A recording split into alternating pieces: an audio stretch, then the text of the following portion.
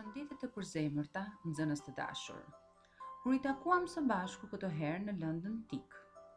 Unë jam mësuese Marsida dhe sot së bashku do të trajtojmë temën burimet e informacionit në internet.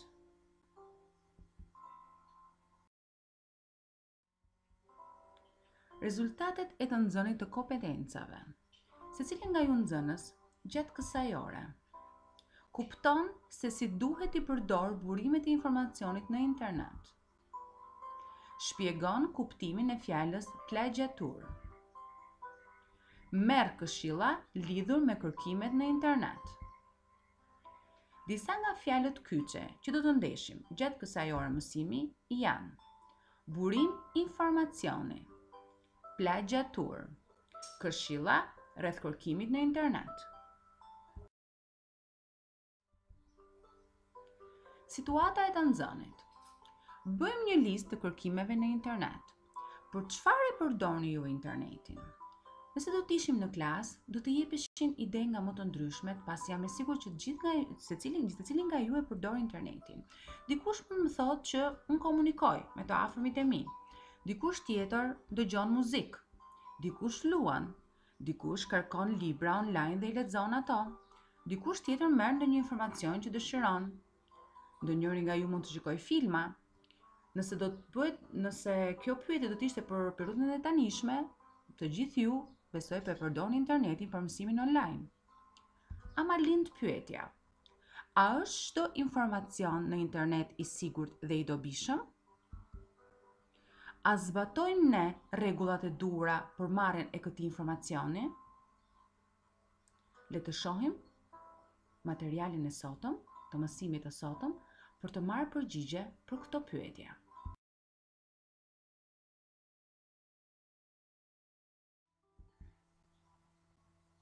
si të përdorim burimet e informacionit në internet. Shpeshherë, mësuesja ju ka lënë si detyrë që të kërkoni informacione për tematika të ndryshme mësimore. Ju i keni ndërthurur detyrat tuaja me shkrim, me ato të marra në internet, me foto e informacione të ndryshme. Rikujtoni, si keni vepruar? Çfarë motori kërkimi keni përdorur? Mos keni vepruar edhe ju si Andi, personazhi ynë? Atëherë le të shohim se si ka vepruar Andi.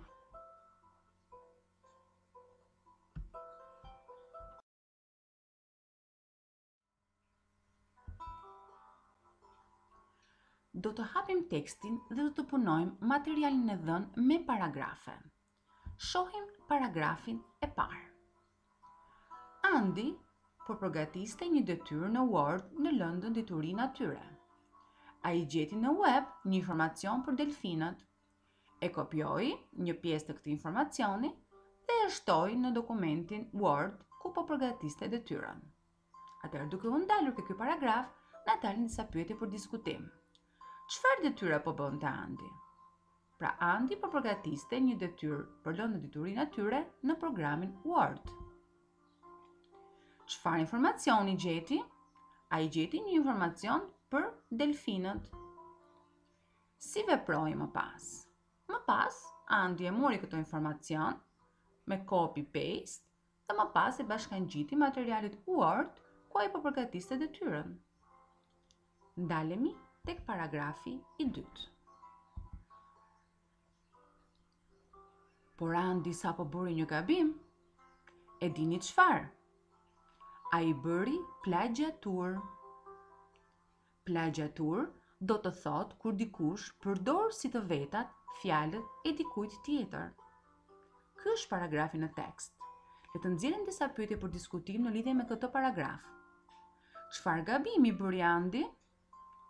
Pra, Andi e mori informacionin e bashkangjiti dhe kjo që ai bëri quhet një gabim. Pse? Ky veprim quhet, pra si quhet ky veprim? Ky veprim quhet plagjiaturë. Çfarë është plagjiatura? Plagjiaturë do të thotë kur dikush përdor si të vetat fjalët e dikujt tjetër. E bëjmë edhe ne këtë gabim. Besoj se edhe ne e kemi bërë këtë gabim, por mas mësimit që marrim në këtë temë, nuk do ta, nuk besoj se do ta bëjmë.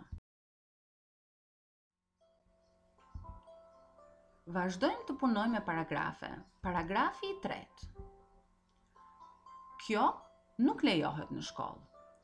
Ndaj është shumë e rëndësishme të mësoni si t'i përdorni burimet e informacionit në internet. Na lindin pyetje. A na jepet një këshillë këtu? Po sigurisht që na jepet, këshilla që na jep cila është ajo, pra cila këshilla që na jepet në këtë paragraf është që kjo që sapo Andi bëri, që quhet plagj, që quhet plagjiaturë, nuk lejohet në shkollë. A do e kini parasysh gjatë punës tuaj në kompjuter?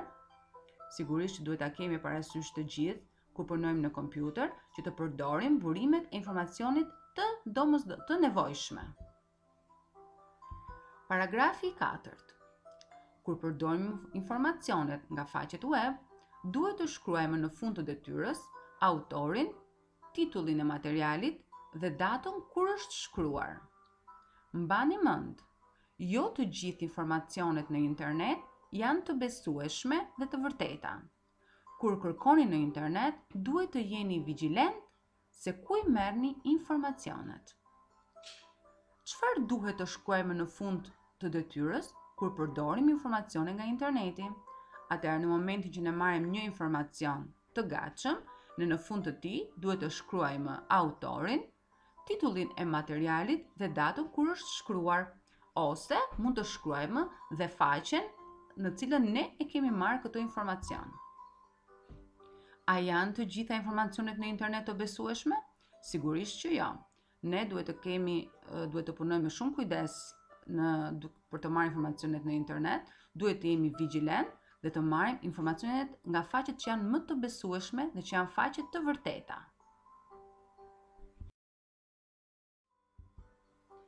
Cili ishte koncepti i ri me të cilën ne u njohëm në këtë orë mësimi? Plagjiaturë. Atëherë ndalemi dhe një herë tek kjo, tek ky koncept i ri. Plagjiatura ishte një kopim në një farë mënyre. Një kopim të cilët ne e marrim nga diku, nga një nga një person tjetër që ka punuar më parë dhe e vendosim tek materiali ynë. Në një farë mënyre është është marrje idesh, Ti po i merr idenë dikujt tjetër dhe po i përvetëson këto ide, këto fjalë për veten tënde. Plagjiaturë nuk është vetëm marrja e një informacioni, por është dhe marrja e një kënge, marrja e një videoje, pra duhet të jemi shumë vigjilentë dhe të kemi kujdes kur ne marrim një informacion. Për shembull, mësuesja këtu ke ky mësimi që ju ka përgatitur, ju ka marrë disa foto. Në fakt, fotot unë i kam marrë ke këto adresat më poshtë, Nëse do t'i hidhni një sy këtyre adresave, këto janë dy adresa ku cilat, në të cilat unë kam kuazuar dhe kam marrë këto foto që ia kam bashkëngjitur këtij materiali. Gjithmonë duhet të vendosim ose adresën nga i kemi marrë, ose autorin, ë, siç e thamë dhe më lart, faqen përkatëse nga është marrë e të tjera si këto.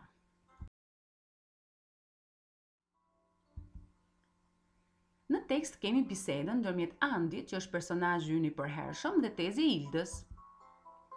Andi pasi mori këto informacione, ndihet shumë i lumtur dhe i thotë tezes: "Interneti qenka shumë interesant.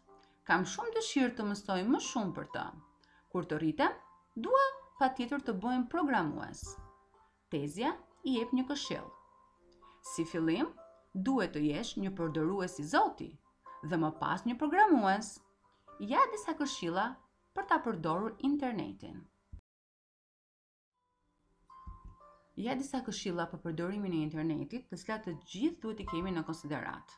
Aq më tepër, mosha e fëmijëve. Kontrolloni kush është autori i përmbajtjes së faqes web dhe kush e ka shkruar atë. Kontrolloni me kujdes nëse faqja që keni gjetur është e duhura. Duhet prania e një të rrituri gjatë përdorimit të internetit. Aq më tepër në momentin kur ju përzgjidhni një material të caktuar, duhet të jetë prania e të rriturit në momentin që ti zgjedh faqen në cilën po e merr këtë informacion për të marrë një konfirmim nga të rriturit nëse është faqja e duhur apo jo. Le të ushtrohemi tashmë në një ushtrim që jepet dhe në tekst, shëno V përgjigjen e saktë dhe me G përgjigjen e gabuar. Shikojmë rastin e parë. Të gjitha informacionet në internet janë të sakta. A mendoni se është e vërtetë apo e gabuar? Sigurisht që është e gabuar sepse jo çdo informacion në internet thamë që mund të jetë i saktë. Interneti përdoret për të për të kërkuar informacion për një temë të caktuar. Kjo është një thënie e vërtetë. Ne e përdorim për shumë gjëra, një ndër këto është dhe për të kërkuar informacion për temën që ne dëshirojmë. E treta, Unë mund të kopjoj një tregim nga interneti dhe të them se e kam shkruar unë. Kjo sigurisht që është e gabuar, sepse kjo quhet plagjiaturë dhe në një farë mënyre është kopim, marrje idesh, kështu që është e gabuar.